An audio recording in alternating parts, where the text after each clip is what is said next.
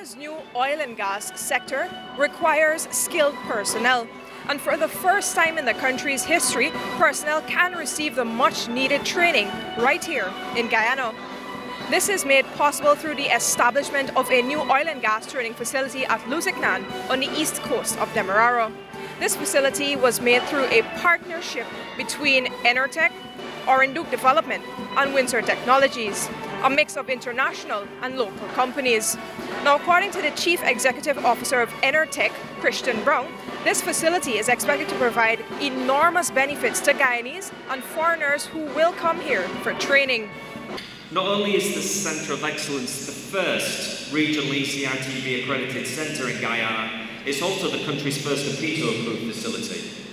This certification is an absolute prerequisite for the thousands of global offshore workers who employees require a shared knowledge of safe working practices benchmarked with global industry standards. Previously, as, many of you will know, but many don't know, the closest OPITO training centre was either the US, Europe or Trinidad. Now having this facility here locally changes all that. The door's wide open now to do all the training we need for not only Guyana, but for the region here within Georgetown.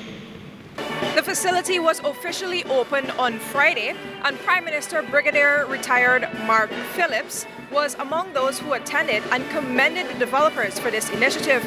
According to him, Guyanese will benefit significantly from internationally recognized and accredited certification right here on their home soil. Much of this training, as you heard, was conducted away from home. But today, and from here on, our people will be able to access such training right here in Guyana. With you being the first entity with approval to deliver offshore petroleum industry training organization accredited training to the oil and gas sector in Guyana, our human resources are now strengthened at a global standard to actively and competently participate in the building of the human resources of this new and abundant area of our country. With an industry that requires high skills and knowledge, it is reassuring to know that these capacities can be imparted to our people, again, without having to leave their home soil.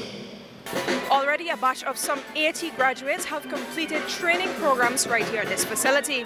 According to the developers, many more people will receive training while the developers themselves hope to expand the services offered here.